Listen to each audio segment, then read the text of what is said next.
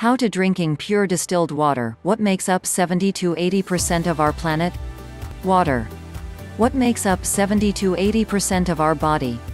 That's right, water. Water is the single most important nutrient you will give your body apart from oxygen. Water rejuvenates us and carries vital nutrients all around the body where it's needed. Water picks up all the leftovers, wastes and debris that the cells throw off into the lymph system and transport them out of the body via the channels of elimination. So when you drink more water it has the double combination of feeding your body and clearing you of all the waste products that were built up in your system. Your brain needs water, and plenty of it. Without water, your brain will operate worn out tired and sluggish. Water is the ultimate gift to give yourself to think with clarity. In addition, water acts as a kind of healthy lubricant moistening tissues and joints. When you drink, you want to avoid tap water. Tap water is more like a dazzling mix of chemicals. It contains fluoride, chlorine, and many others. The amount of chemicals in water will fill up books, it's more like a chemical soup. The evidence that fluoride is poisonous is so overwhelming that it's being pushed to be banned in many countries by action groups. The thirst mechanism when having been turned off for a prolonged period is often mistaken for hunger. As you drink more water your thirst mechanism will return to its natural state. Not only will you begin to feel thirsty when you need water again, but your appetite will decrease. This brings us to the next big thing you need to understand about water.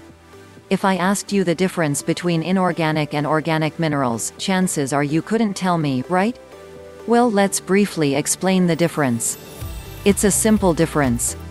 Organic minerals come from plants, inorganic minerals come from rocks and volcanic sources. Organic minerals can be broken down by the body. Inorganic minerals are not used by the body and are stored until suitable water can come and carry them out.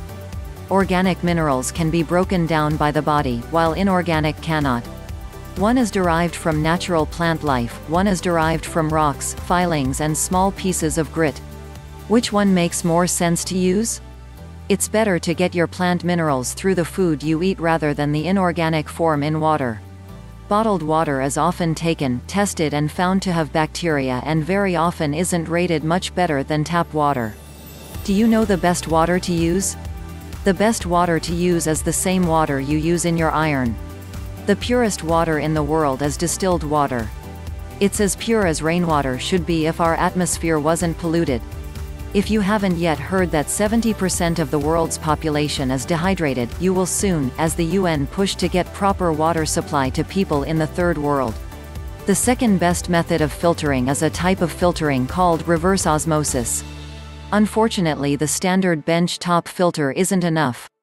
Most of the nasty contaminants in our water simply don't have a taste. Some people feel it's a case of out of sight out of mind. This may work for things people think, yet when it comes to your body, the life of your children, the health of those you care about and the line between getting cancer and surviving it's far short of acceptable. The opportunity for energy, for vitality, for a quality of life is only known to a select few who choose to raise their standards and take action to apply what they know. New discoveries are being made all the time as new research comes out of the United States, out of Germany, and out of Australia and other countries. How does this apply to me you may ask? Well, these contaminants can kill you. Is this a reason to get upset? No, it's simply an action signal to act smarter. The best bit is when you're drinking absolutely pure distilled water it is so much easier to drink. It's so easy to refreshingly flood your body with purity that will flush out chemicals, clear out the lymph system and contribute to expelling excess weight in the body. Distilled water is so easy to drink and be absorbed by your body without having to flush out the other nasties first that many people report who were struggling to drink half a liter of water a day, are now drinking 4 liters a day and up, with ease. If you can't get distilled water, reverse osmosis filtered or table water is the next best option. Many people in third world countries don't have access to a clean water supply. We in developed countries have currently almost unlimited access to clean water. My suggestion to you is to use it.